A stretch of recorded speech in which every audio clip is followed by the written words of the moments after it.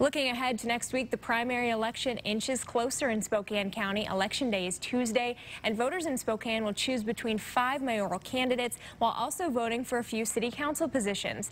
There are some changes this year, including more time for you to cast your ballot. Maher Kawash is at the Election Center in Spokane with everything you need to know ahead of Tuesday's election. Maher? The primary election is right around the corner. The biggest thing to know is Washington's elections are all mail only. So the good thing to know is it's not that hard to get your vote in either.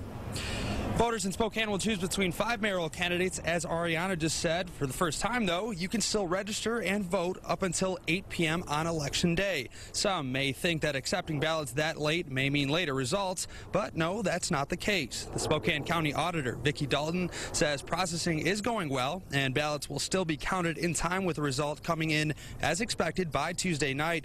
Many voters are worried that mail-only ballots mean someone may get a look at who they voted for, but Dalton says not to worry worry about that either. You guys know how I voted. No, we don't. So um, once the ballot comes to us and we verify your signature and we remove the yellow envelope from your white envelope, there's no more name connected to the ballot. So votes are secret. Along with the candidates you're voting for, there are measures that will affect taxes, libraries, fire districts, and more. Dalton also says your ballot will still count even if everything is not filled out. We have asked all five mayoral candidates to tell us in one minute interviews why they should be the next mayor of Spokane in our online series, May I Have a Minute? You can watch all those at KXLY.com. They'll be posted tomorrow.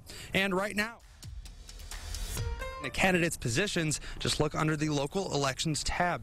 In Spokane, I'm Eric Kawash reporting for News Now.